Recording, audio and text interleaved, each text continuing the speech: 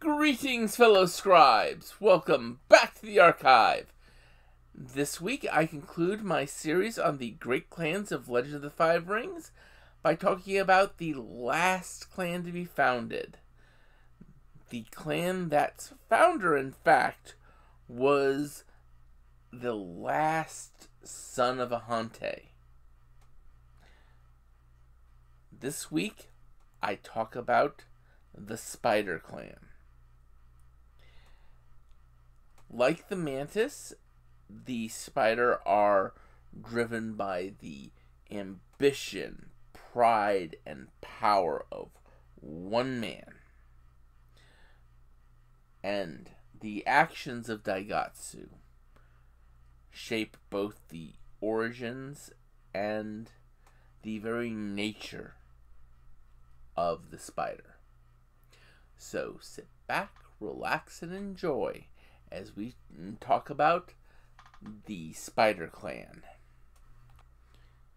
Every great clan is defined by its origin, by the founder. You know, the Crane are defined by the culture of Lady Doji. The Crab are defined by the sheer determination of the Kami Hida.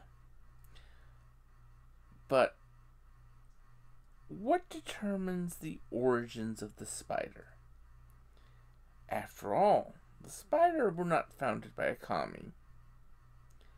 They were founded by a seemingly mortal man. Well, this comes into the origins of Daigotsu himself. You see, just before the death of Hantei the 38th, his eldest son, Sotorii, and his pregnant wife were kidnapped. And his wife gave birth while in the hands of the kidnappers.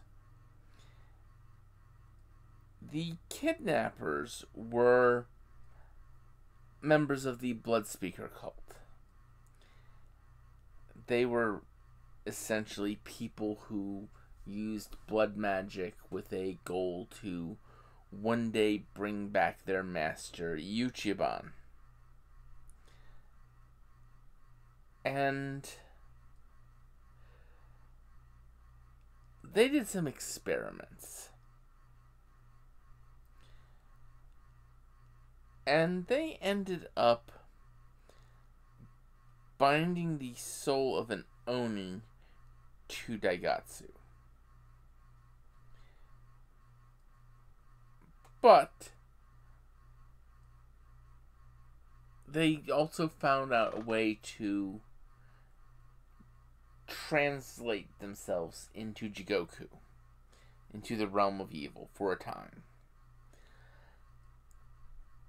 Because there was a prophecy that when the last Hantei Emperor sat on the throne of the Empire, that would bring about the return of Fu Leng.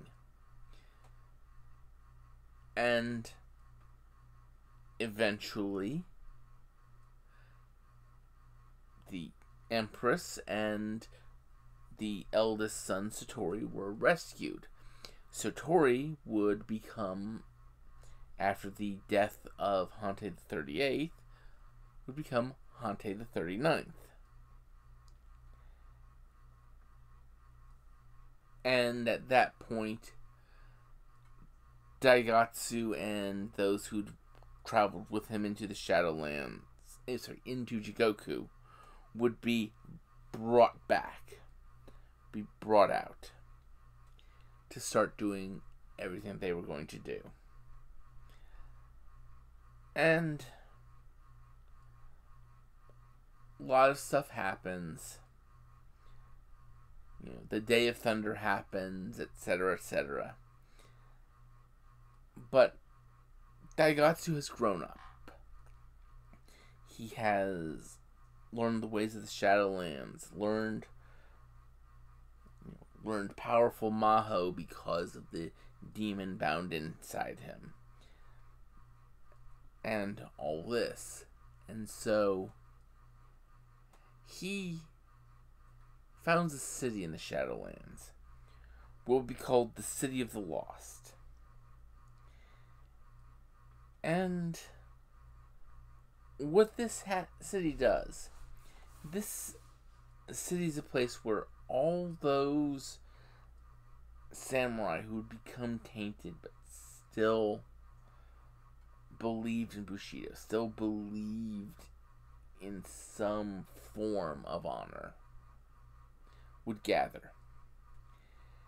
And eventually, Daigotsu became the Lord of the Lost, dominating them, molding them to his will. And fast forward,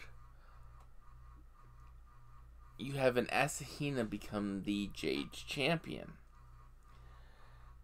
Now the Asahina are are extremely pacifistic,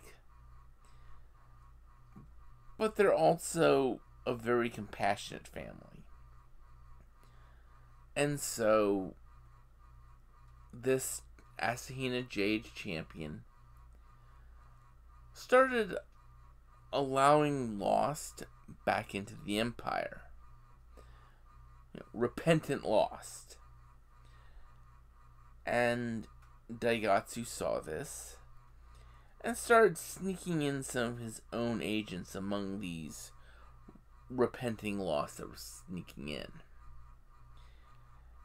And these agents would do whatever was necessary to start spreading an ideal. They started bearing a icon of a spider.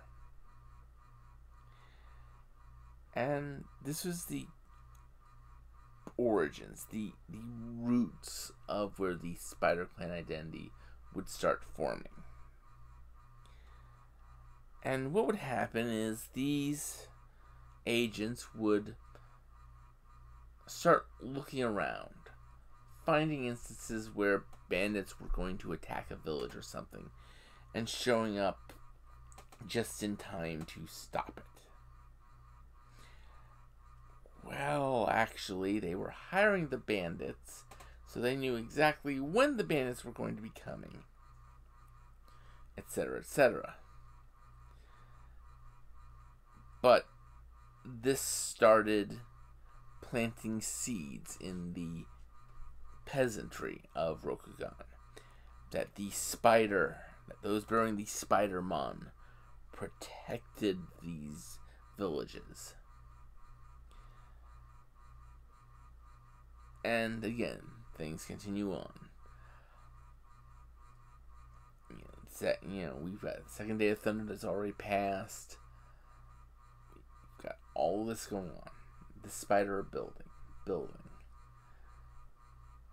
And somewhere during this time, Daigotsu decides he is going to leave the city of the lost.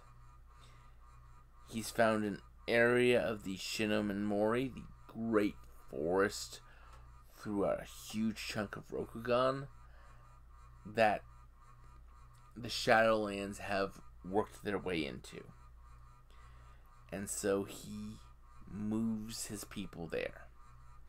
And they set up a city in inside the Shinomen Mori.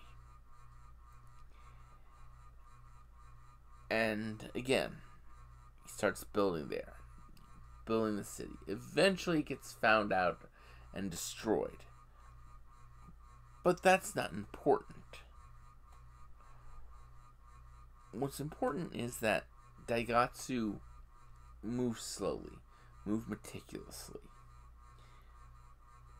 Once he had the city, once he had a population of the lost there, he started putting feelers out, making alliances with different clans, individuals within different clans, finding those who were disillusioned who were distrustful of the celestial order or just jealous and recruiting them. And eventually you come to the time just before the Destroyer War. Now, yes, understand, I am glossing over a lot. There is a lot that goes on during this, including the fall of Otosan Uchi as the Imperial City, because, well, Daigotsu released the Iuchiban, and then Daigotsu had to help get Iuchiban killed again. Iuchiban's just like a bad rash. He never goes away. But so that that's all big stuff that happened, but it doesn't really go towards the formation of the spider just before the Destroyer War, Daigotsu found out about a group coming from the south. He didn't know the specifics. He just knew that there was some sort of prophecy among a group from the Burning Sands area that something was coming and that it would turn the Shadowlands into its minions. And so Daigotsu started prepping, because when this happened, he wanted to take advantage of it. And then you have the Destroyer War. And throughout the Destroyer War, the spider end up consistently helping Rokugan. Now, this is because Daigotsu's wife, Shahai, had delivered him a son. And he wanted that son to inherit Rokugan. Because Daigotsu knew he was a Hantei, that he was from the old Imperial line. And he made a deal with the Empress. The Empress asked for him to meet at a very specific point in time. He met there, and the Empress's offer for him was that his son would be trained into the imperial household as befits a scion of the Hantei line. though yeah, uh, then the spider would be recognized as a minor clan not the great clan that daigotsu wanted but they would allow it to be openly exist and daigotsu just had to kill himself So Daigotsu accepted this. And he killed himself at just the right moment. Because you see, Fu Leng was engaging Kali Ma at this time and losing. Actually, he did lose. But that was because Shahai finished a ritual that siphoned all of Fu Leng's power into Daigotsu. As soon as Daigotsu's soul hit Jigoku. And then Daigotsu turned around and started siphoning off all the power from Fu Leng, and then all the power from Kali Ma, thus making himself the Lord of Jigoku. Not Jigoku's champion, like Fu Leng and Kali Ma were. Because at this point he had all the power of a kami and a goddess. And plus all the power he had accumulated himself. And this let him assert his will over the realm of evil instead of being a servant of the realm's will. And at this point, as a full fledged kami, he makes a counter offer to the Empress. The offer is simple. The spider will be recognized as a great clan, and he will withhold the taint from anyone except those who willingly accept it. And the Empress accepted this bargain. This put the spider into a unique position as the Empire's testers. Testing those who are loyal samurai or not by manipulating them. See who succumbs to their manipulations. And they do this all because of their variation on philosophy. See, the spider don't follow Bushido as a whole. Instead, they follow a philosophy called Shurido, the way of victory. Shurido is a variant code of honor. While it is not incompatible with Bushido, it takes a special sort of bushi to be able to work both shurido and bushido into one cohesive whole. And this is because bushido is about the obligation to the society, while shurido is about personal empowerment. Like Bushido, there are seven tenets to Shurido. And you can, in many cases, see a one of the original seven great clans that gets connected to one of these. So, let's go ahead and talk about these.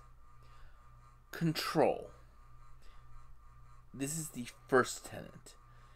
It allows one to manipulate circumstances so that there is only one outcome. This tends to be a very scorpion one.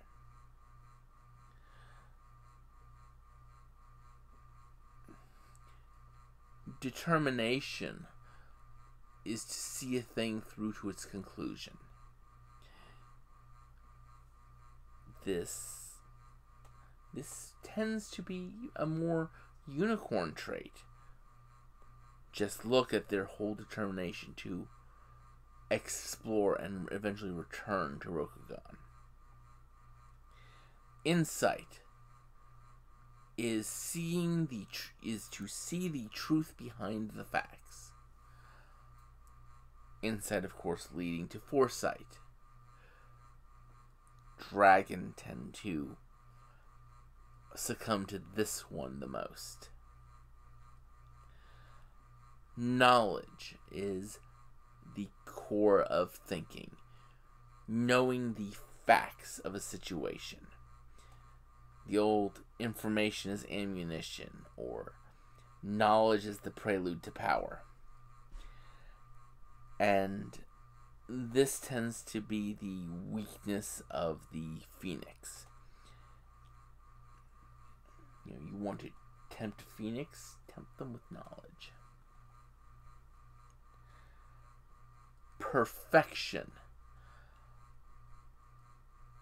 The goal to do everything exactly right. This tends to be the weakness of the crane. The element of Shurido that can cause a crane to fall. Because every crane lives for that perfect gift. That perfect strike. That perfect painting. And perfection is not just about perfecting something else, it's also perfecting yourself. Perfecting your beauty, perfecting your grace, perfecting your style. Constantly honing yourself.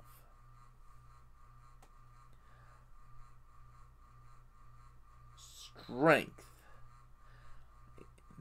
Acting upon the knowledge you've gained using your insight and control to focus and do what you want to do.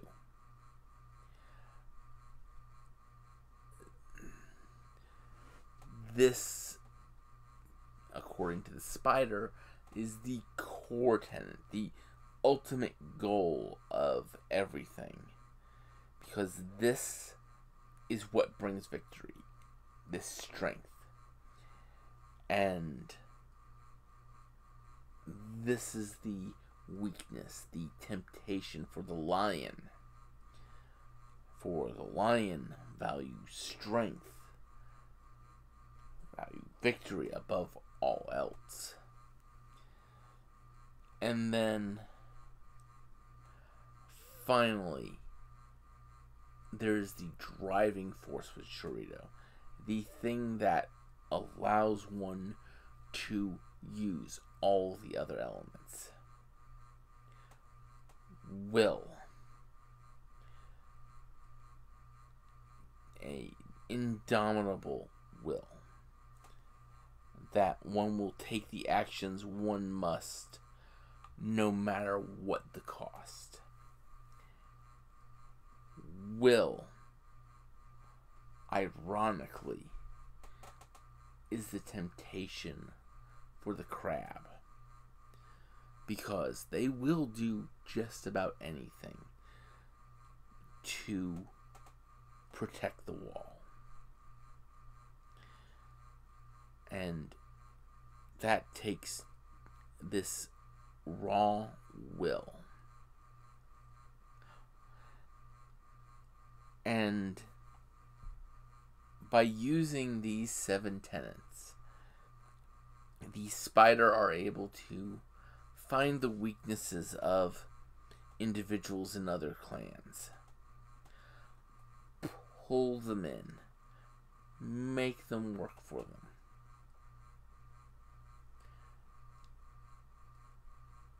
Make these other samurai